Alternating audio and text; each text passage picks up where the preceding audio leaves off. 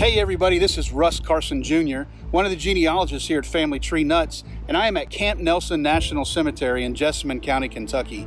Um, I am at the gravesite of a client's great-great-grandfather, Edmund Gray. At the age of 45, Edmund joined the Union Army and, uh, in June of 1863 and out of Flat Lick in Knox County, Kentucky.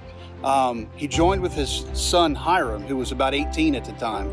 The two of them reported here at Camp Nelson at, on September the, the 18th of 1863, but on October the 5th, Hiram had died. He died of typhoid fever. We have massive documentation from the the base surgeon um, and the hospital records that where he was entered in there. He died. He was buried with full military honors, the records say, uh, right outside the hospital.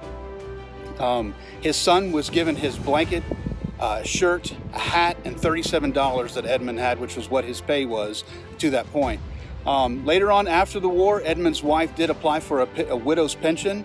We have about 30 pages worth of that application where she applied for it. She had to prove that uh, they were married, prove they had children. They had to have midwife report, um, write a statement saying that those children were her children, and uh, she was granted that pension. So uh, we should honor Edmund um, and all the other privates of the Civil War and all the other soldiers of the Civil War that were here. And as you can tell, it is Memorial Day weekend here at uh, uh, Camp Nelson Cemetery, so all the flags are out and it is a wonderful sight.